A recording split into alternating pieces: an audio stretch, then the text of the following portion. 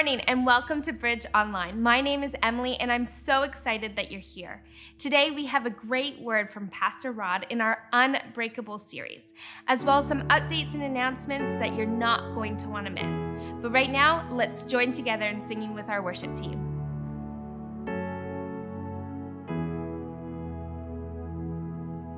The reign of darkness now has ended in the kingdom of light, in the kingdom of light,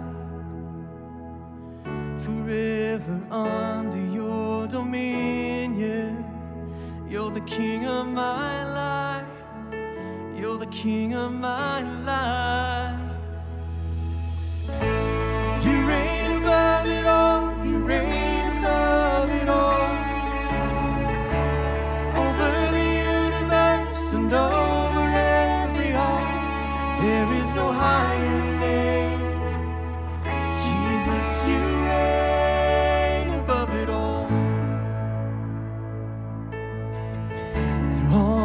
cross, the work was finished.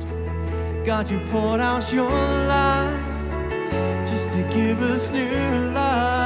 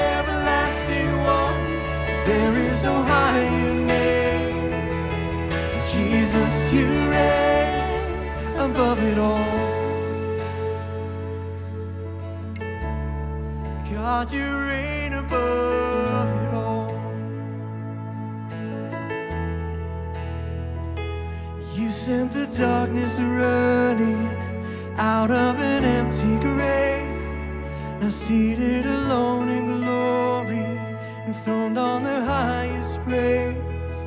You sent the darkness running out of an empty grave. Now seated alone in glory, enthroned on the highest praise. You sent the darkness running out of an empty grave. Now seated alone in glory, enthroned on the highest praise. You sent the darkness running out of an empty grave. Now seated alone in glory, enthroned on the highest praise. You sent the darkness running out of an empty grave. Now seated alone in glory, enthroned on the highest praise. Sent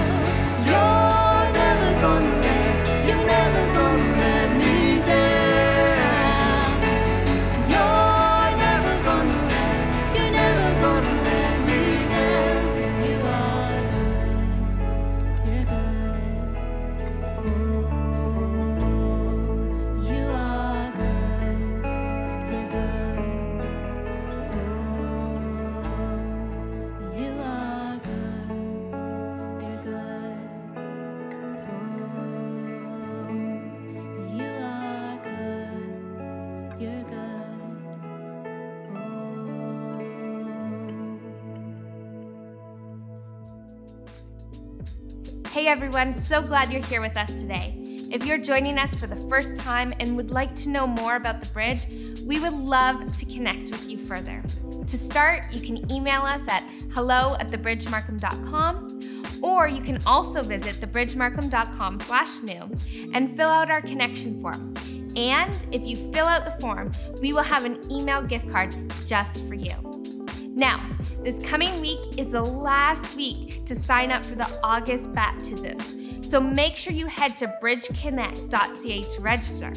You can also register for our September baptisms as well. So if you're interested in any way to get baptized or you just want to learn more about what baptism is, then head to the bridgeconnect.ca and click on the baptism card. This is the best place for you to check out more information and to register. And once you do, I will personally be in touch with you to talk to you about some next steps. Now, whether you've given throughout the week already or whether you have direct withdrawal already set up for your offering, this morning we want to give you the opportunity to give prayerfully and purposefully. You can go to the link on your screen to give. You can e-transfer to giving at thebridgemarkham.com or you can mail a check to the church address. I'd like to thank you for your faithful and generous giving. Finally, you may be feeling that you're seeing the light at the end of the tunnel related to the pandemic we've been facing. But how about your personal life in general? What you may have experienced in your personal life may have added more challenges on top of the situation related to the pandemic. Maybe it's the death of a loved one, separation or divorce, financial insecurity, sickness, loss of a job, or a miscarriage. I'm with you. It certainly can be overwhelming. If you are in a season like this, just remember to take one step at a time or one day at a time. You can do this and you can make it through. But let me tell you, it is hard to do it on your own. No matter how many books you read and seek out self help resources, there is a special healing and strengthening of your soul that takes place when you are journeying together and processing your pain with a community of people who have gone through a similar experience like yourself. This is what seasonal groups at the bridge are all about. Seasonal groups are short term support groups that journey together to provide you with the resources and comfort needed for you to overcome the challenges you may be experiencing and help you along in your journey so that you can experience hope and healing in the midst of it. We are offering four different seasonal groups online this fall. They are grief care, divorce care, hope and beyond, and the marriage course. Why not take that first step and join one of the seasonal support groups that meets your need and begin your journey towards experiencing the fullness of life as it was meant to be. For more information about each of these groups and to register, please visit our website seasonalgroups.com or email us at seasonalgroups at thebridgemarkham.com. Please know, even if it hurts and even if it's hard, it's okay to not be okay. But don't settle for a lifetime of not okay. Take the first step and register for a seasonal group. Let's journey together. We hope to see you soon. Good morning. I hope your summer is going well, and I pray that you, your families, and friends are feeling refreshed and blessed during this season. I'm Jay Anandarajan, and I'm here on behalf of the Board Nomination Committee to draw your attention to the board member nomination process. Our next annual business meeting is tentatively scheduled for Sunday, November 21st. Further details will be provided to you at a later date. We would like to start the process to find suitable board members to take on this ministry role for the next three years. The Board Nomination Committee requests your prayerful engagement in the matters of our church and to nominate members to the board. Current board members Kevin Aid is completing a six year term, thus will not be eligible for re election. Bill Buck is completing his first three year term and is eligible for re election. Thus, there are two positions that need to be filled. We would like to thank Kevin Aid and Bill Buck for serving in the board so diligently. The nomination committee for the board is comprised of Pastor Brian Childs, Sonia Tan, Winston Stewart, Joanne Williams, Jason Lamb, and myself. The timeline for the nomination process is as follows. Today, August 15th, the board nomination opens via our Bridge website. September 5th, our board nomination closes. Between September 5th and October 3rd, the nomination committee will review and contact those who are eligible to consider becoming a board member. October 4th, a final list of qualified names uh, would be prepared to present to you the membership. Between October 10th and November 21st, we will present the qualified names to the membership. And on Sunday, November 21st, the annual business meeting will take place and you will have an opportunity to elect and affirm the new members of the board. The role of the board member is to partner with the lead pastor in the overall direction, governance, and administration of the bridge so as to guide the pastors and congregation towards God honoring best practices and purposeful ends. Please visit the board nomination webpage for more information. Now to the qualifications for board members for you to nominate. A member of the church in good standing for at least two years. A nominee should be consistently participating in a life group, serving opportunity, and attend a weekend service. They must support the operation of the church and its ministries through tithing. And the leadership qualities of the bridge that we are looking for is calling, character, competency, chemistry, a capacity to serve, and convictions. How you can nominate. During the next three weeks, you may submit your nominations online via our church website. The link is provided here for your reference, and you can find it on our website as well. Based on the qualifications and your prayerful consideration, please consider nominating members to the board. We would like to thank you all for your engagement and commitment to serving God. Thank you and have a blessed week.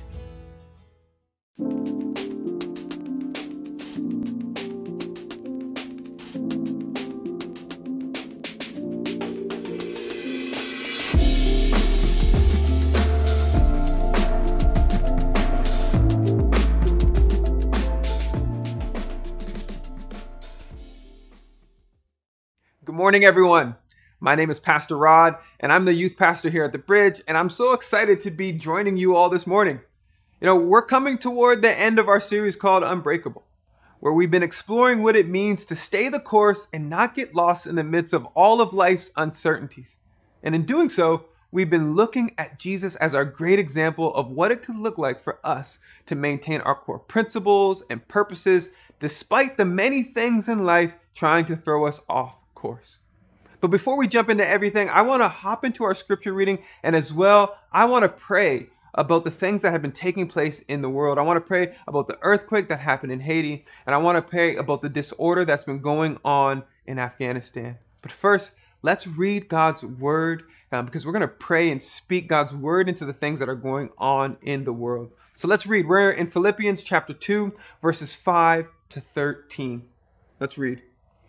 In your relationships with one another, have the same mindset as Christ Jesus, who, being in the very nature God, did not consider equality with God something to be used to his own advantage. Rather, he made himself nothing by taking the very nature of a servant, being made in human likeness. And being found in appearance as a man, he humbled himself by becoming obedient to death, even death on a cross. Therefore, God exalted him to the highest place and gave him the name that is above every name, that at the name of Jesus every knee should bow in heaven and on earth and under the earth, and every tongue acknowledge that Jesus Christ is Lord, to the glory of God the Father.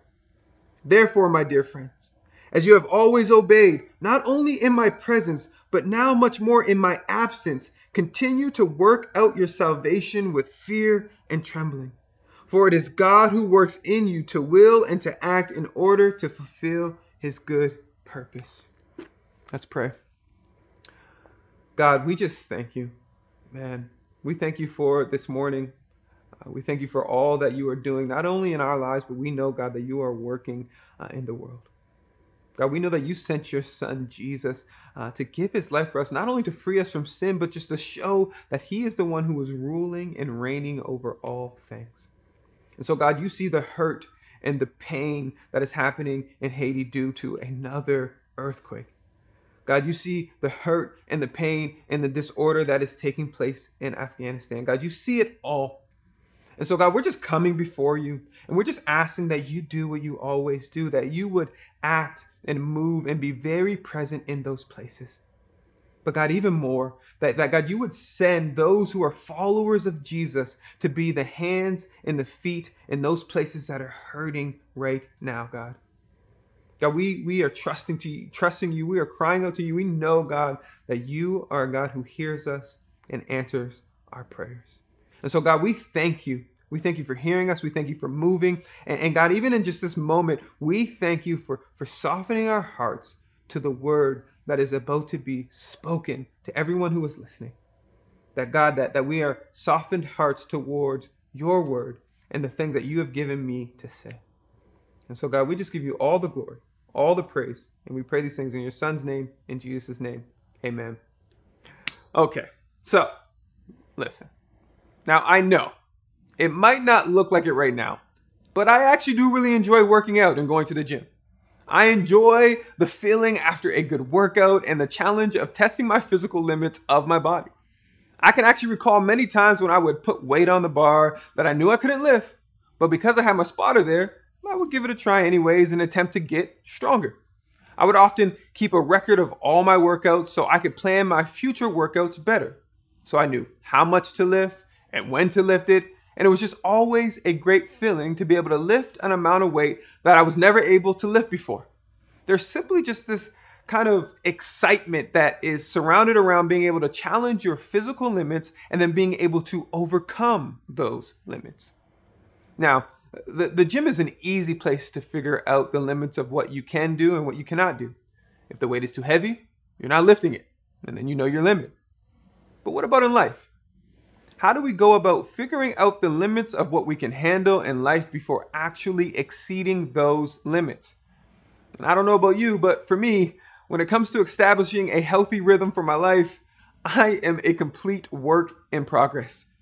And this actually became most evident to me during my last school year when I got the bright idea of thinking I could take two courses each semester for my master's while still pastoring full time just because everything was online. I found all these good reasons to justify this unwise decision. I told myself I would graduate earlier, and since everything was online, I'd have more time. You know, it's just funny how we can always come up with good reasons to do foolish things. And sure, uh, in the end, I completed everything, which means I accomplished what I set out to do for the year, and honestly, I think that's great. But you know, I also ended up being really stressed the majority of that year and overwhelmed. I found myself constantly busy going from one thing to the next. Instead of doing a few things great, I end up doing a bunch of things poorly. I had no rhythm to my life. I had no harmony. And unfortunately, many of you, too many of you, listening to this right now can both relate and identify with what I'm saying.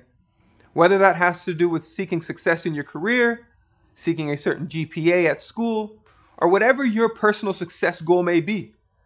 Or maybe you just have a fear of missing out and or lack the courage to say that magical two-letter word no. whatever it may be for you. Many of us are living lifestyles that are so jam packed with the things we hope to achieve or the things others have asked us to do, and it's causing us to live lives that are stressed, overwhelmed, unhealthy, and ultimately leading us to a life that is burned out. Now, some of you are hearing this and you're thinking, yeah, you know what? That's a good point. It's time that I take stock of my life and make some changes. But then there are others of you who, like me, are convinced that you have your overwhelming situation under control. And the truth of the matter is, when it comes to knowing your limits, you can either humble yourself or be humbled by your overwhelming situation. Either way, we all will arrive at or hit the wall of realizing our limits. You know, I was reading an article the other day that was talking about the modern version of the Hippocratic Oath. And in the modern version of the oath, new doctors are reminded of the importance of humility and are encouraged to not be ashamed to say, I don't know, as well as reach out to their colleagues on topics they are unfamiliar with. The article goes on to say being able to confidently say you don't know the answer to something actually builds trust and transparency, especially if you follow that up with, but I will do everything I can to find out. Because in reality, as the author continues, any doctor, doctor who can't admit the limits of their knowledge, energy, and skill are simply lying to themselves. The author of the article then makes his point by saying there is a risk to not knowing your limits. And in this age of information and misinformation, being humble and knowing your limits is more important than ever. Now, personally, I'm all for testing our limits for the purpose of promoting growth in our lives, whether that's physically, mentally, or otherwise. I do believe sometimes that is needed. However, I also believe that there is a way with which it is to be done in a healthy manner. Because when we place ourselves in the position of experiencing stress or exerting our limits for long periods of time without any effort to alter or change our situation, it is in those times that we begin to feel hopeless, lack motivation, or lose our sense of caring. Actually, the psychologist who coined the term burnout actually describes it as a depletion of exhaustion of a person's physical or mental resources attributed to his or her prolonged yet unsuccessful striving towards unrealistic expectations, internally or externally derived. Meaning, burnout isn't simply about not having enough energy, motivation, or passion. Rather, the core thought behind burnout usually is will this ever get better?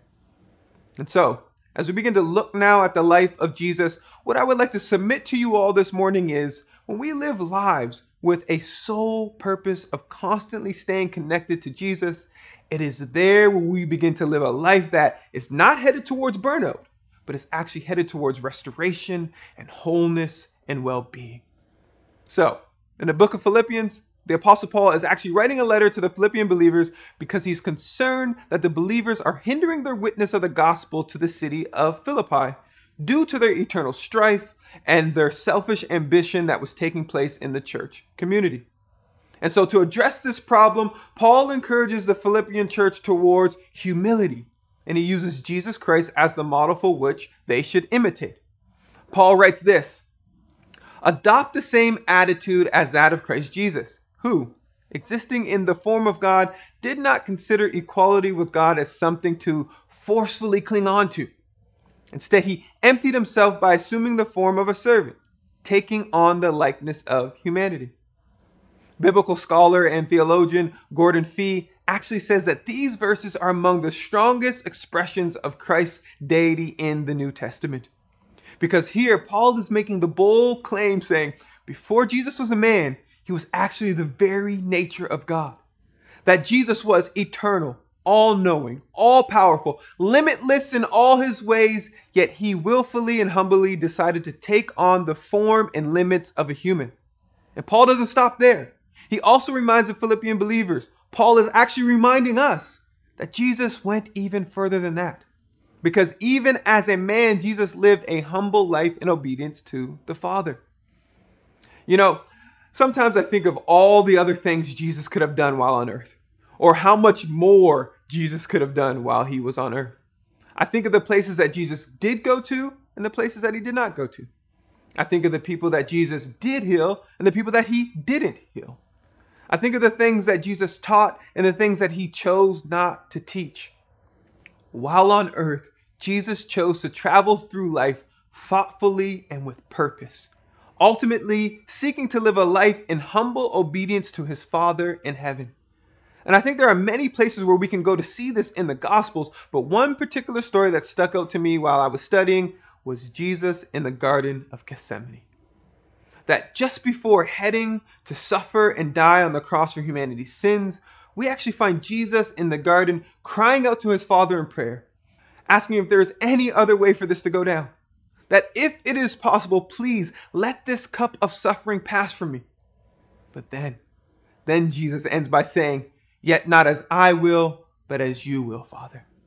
I think the Apostle Paul was hoping his letter to the Philippians would, would move their hearts in the same way that I hope our hearts are also being moved as we are reminded of how Jesus could have used his divinity to do anything he wanted. But instead, Jesus uses his divinity as an opportunity to lay his life down for you and me so that in exchange, we could receive salvation and restoration. Paul then continues in the book of Philippians in chapter 2 and verses 12 and 13 and basically says, in light of all of this, now Philippian believers, do this. And this is what he says. Therefore, my dear friends, just as you have always obeyed, so now, not only in my presence, but even more in my absence, work out your salvation with fear and trembling. For it is God who is working in you both to will and to work according to his good purpose. You know, I, I think the question these verses should cause us to ask is how should followers of Jesus be living out their faith? How should they be working out their salvation? Again, Gordon Fee in his commentary on Philippians, he says this One does not live out the gospel casually or lightly, but as one who knows what it means to stand in awe of the living God. The gospel is God's thing, and the God who has saved his people is an awesome God.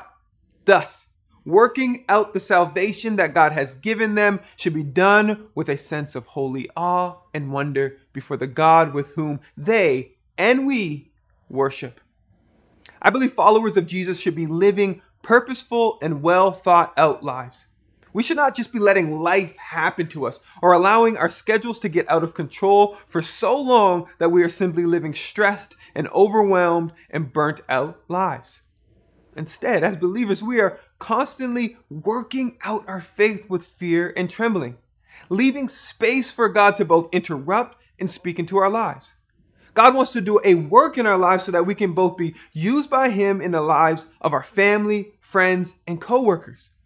God wants to do a work in our lives so that He can take all of the hurt and pain and weariness and all of the messed up stuff that our stressed and jam packed schedules have produced in our lives and in the lives of our family and friends. And He wants to take all of that brokenness and, and not simply try to figure out somehow to piece it all back together somehow. Rather, instead, Jesus wants to make you completely brand new. He wants to start this process of restoration in your life where you will end up being completely whole, resting in Him alone. And so, as followers of Jesus, we need to be people who are paying attention to their lifestyles and to their schedules. Ultimately, trying to establish a rhythm and pace of life that is daily seeking to stay connected to the limitless source named Jesus. So uh, recently, I actually I started running, and, and prior to a month ago or so, I actually, in fact, hated running long distances. At that time, I didn't enjoy the effort that was required to do it. But actually, now, one of my favorite things about running long distances is that mental challenge. That at a certain point during my run, every single time, everything in me just wants to stop. But it is the mental challenge of overcoming that feeling and continuing to push through. And it was actually my cousin when I went back home, he, he was the one that got me into running. And even though before neither of us were really kind of into running, we were actually always around sports still, all of our lives. So the one thing that we knew was important about running long distances or running sprints is that pacing yourself is really important. But here's the thing Neither me or my cousin are in our primes anymore. Our dreams of being the greatest athletes to ever live are far behind us. But the problem is, just because you're not in your prime anymore doesn't mean you lose that competitive spirit. And well, that's my cousin. And so recently, when we were running sprints together, I remember saying over and over again, hey, let's pace ourselves. Let's just pace ourselves. But you know, he didn't want to listen. So we line up, we head into our sprint, and as we're going and going, all of a sudden, out of the corner of my eye, I see him pull up and slowly limp to a stop. He ended up pulling his hamstring. And you know what? He's okay now because he's the type of guy who can get hurt or stop working out, and he'll still be fine with picking up where he left off in just a couple months. But I think the moral of the story here is again, you can either humble yourself or be humbled by your situation. And you see, in life, it's all about the creep. Unlike pulling a hamstring, realizing that you are living beyond your limits usually doesn't happen in one noticeable swoop. Rather, it happens little by little, inch by inch. A yes here and a yes there. A, oh, I can do that for you, or I don't mind doing that. In life, it is the creep that gets us off pace, throws us off rhythm, and ultimately disconnects us from Jesus. And so, how do we get that under control? How can we get a rhythm to life that is daily seeking to maintain our connection to this limitless source named Jesus so that we can begin to live lives that are being restored to wholeness and well being? Recently, I was actually reminded of an ancient Christian tradition called a rule of life. A friend of mine sent me a podcast that I'm actually going to recommend to you all right now called the Fight, Hustle, and Hurry podcast. It's hosted by Jefferson Bethke and John Mark Comer. It is an amazing podcast that is teaching all about this very topic that we've been talking about today. But if you're not a podcast person, even though you should probably be a podcast person, I can also recommend to you their books. Jefferson Bethke, he, he wrote a book on this topic called To Hell with the Hustle. And John Mark Comer's book is called The Ruthless Elimination of Hurry. Now, this ancient Christian concept of a rule of life is all about abiding in Jesus, staying connected to Jesus, and keeping God at the center of everything we do.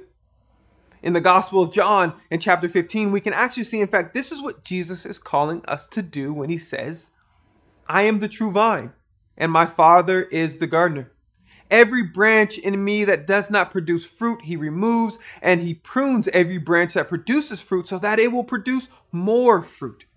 You are already clean because of the word I've spoken to you. Remain in me, and I in you.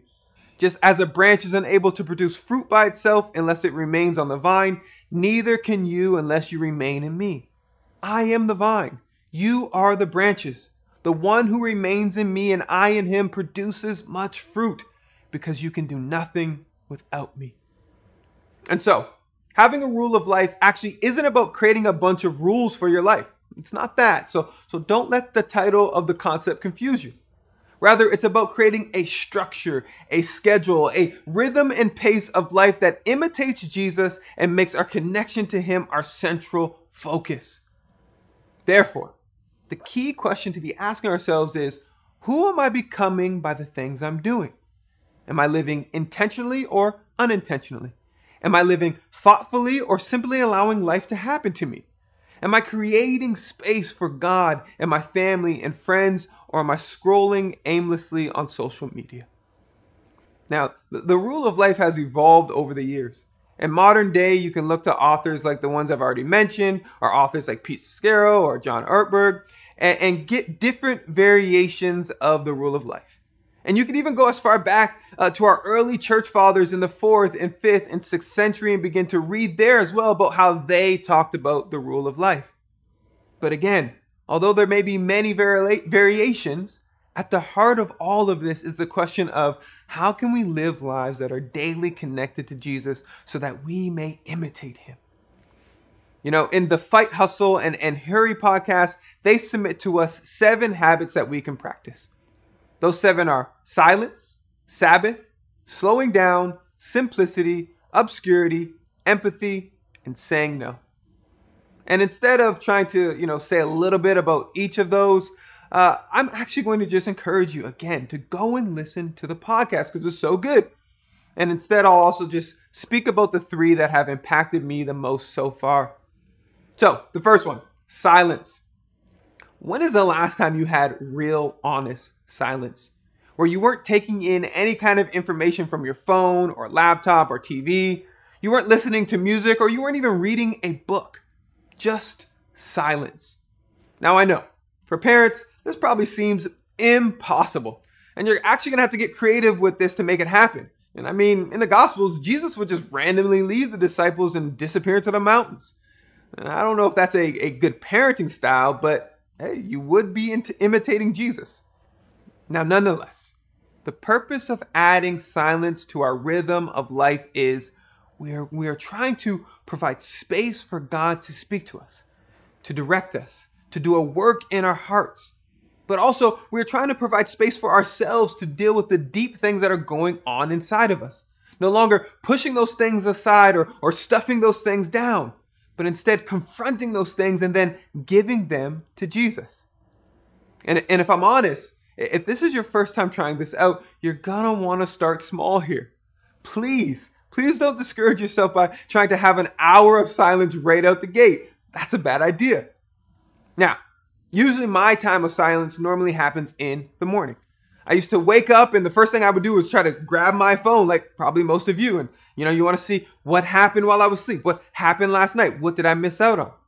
And, and I would also actually turn on worship music. And there's nothing wrong with that, but I wanted to try out this silence thing.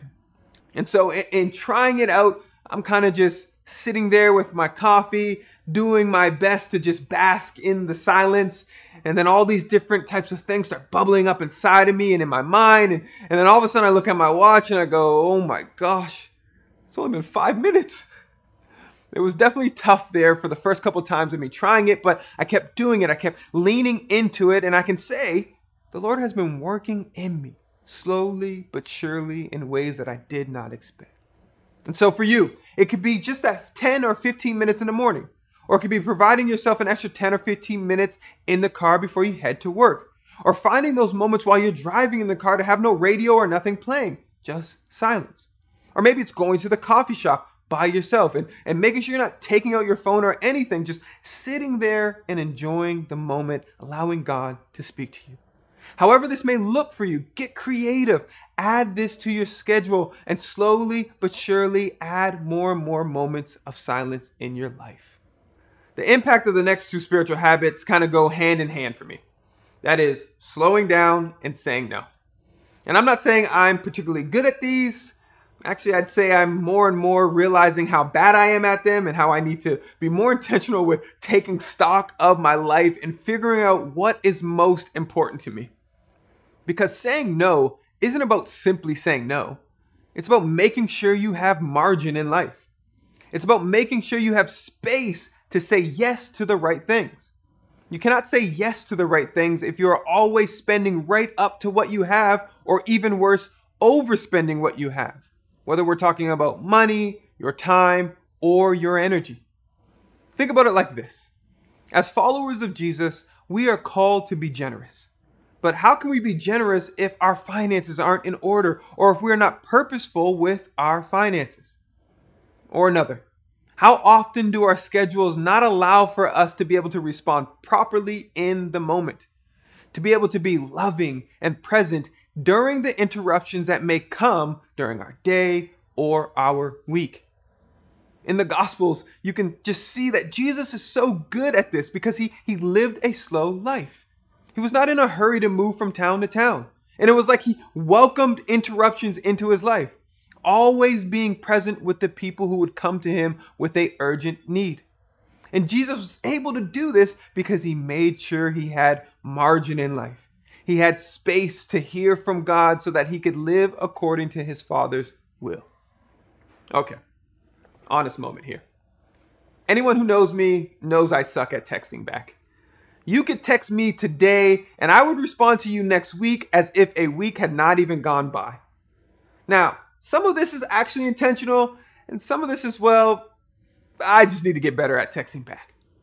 But the truth is, we do not have any more time during the day than someone would have a hundred years ago, or 200 years ago, or 500 years ago. But what we do have is way more access to our lives. People are able to call you and text you and ask you and email you and DM you. In addition to the internet allowing us to have more friends and relationships than any one of us can actually manage. And so it's like, what do we do? We can't add more time to the day. And so we are just left with making sure that we are so much better at saying no, becoming so much better at slowing down. On the podcast, John Mark Comer talks about our desires being infinite, that the heart's desire will always long for more. Yet everything other than Jesus is finite. So, what happens when your infinite desire runs up against finite things and possessions? Well, you end up in a habitual state of stress, being overwhelmed and discontent, caught up in the life of hustle and hurry with no margin in life, constantly overspending what you have. But God, God sent his son so that he could be our infinite satisfaction. And it's when we place Jesus at the center of our lives, seeking a lifestyle that is constantly connected to him, that we will be able to live lives that are producing fruit because we will have been made new and made whole by the limitless source named Jesus. My prayer this morning is that we will become people who are abiding in Jesus, allowing Him to do a work in us, producing the fruits of Spirit in our lives so that we will be people who hear from God because we practice silence. That we will be people who find rest in Jesus because we practice Sabbath. That we will be patient with others because we have slowed down in our lives. That we will know what matters most to us because we practice simplicity in our lives. That we will be living faithful and humble lives because we lean into a life of obscurity. That we will be people known for our love and kindness because of our empathy. That we will know to say no. That we will know when to say no so that we can become a source of life for the things that we say yes to. A source of life for our family, friends, and coworkers. May this be true of all of us as we await in hopeful anticipation of Jesus Christ's return when every knee will bow and every tongue confess that Jesus Christ is Lord to the glory of our God, our Father. Amen.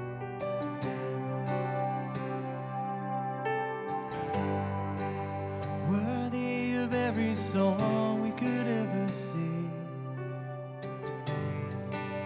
Worthy of all the praise we could ever bring. Worthy of every breath we could ever breathe. We live for you.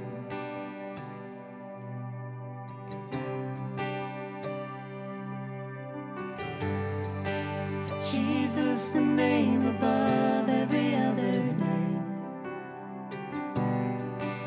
Jesus, the only one who could ever save.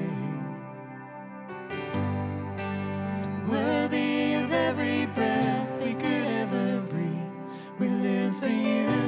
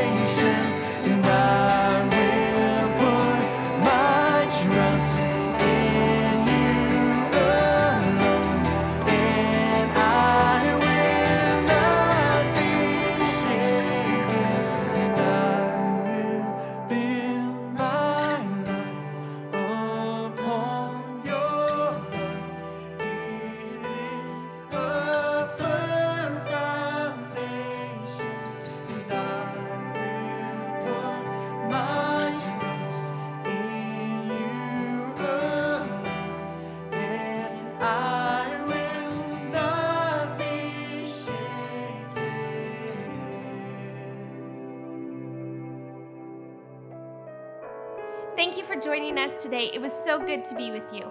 For any more information or to find out what's happening at the bridge, you can head to bridgeconnect.ca. Well, we'll see you next week. Have a great week.